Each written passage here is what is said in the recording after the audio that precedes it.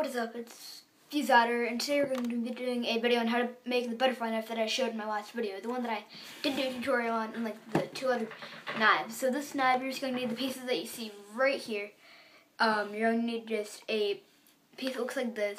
Get the pattern down. Oops, hold on. I'm going to hold it up to where you can see it.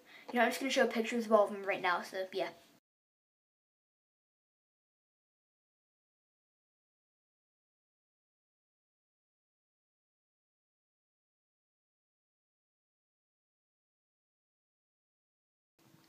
Okay, now you need to make sure all the all the pieces you have have these little holes in them that you see on this one. Need to be on uh, this one, this one, this one, and this one.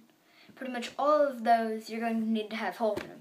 I'm going to show the back if you just want to have the pieces that I do, just make it work better, but yeah. Now, now, um, those pieces you don't need are just going to make the knife work better if you're just going to be flipping it around for like a video or something. If you're just flipping it by yourself, it's honestly not that bad to just have Now to the building.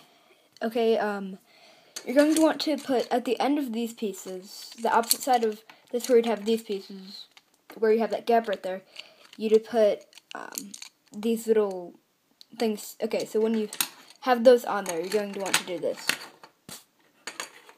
grab this piece and put it on there how I do. I'm going to put a picture up the hard to do while holding the camera. Okay, so this part you're going to want to put right here. As you can see there. It's going to go right there. Then not in the middle, but the other one is going to go... Oh god. Okay, I just dropped the camera.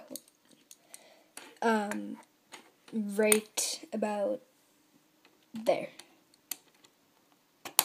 Now you're probably wondering, what am I supposed to do in the center?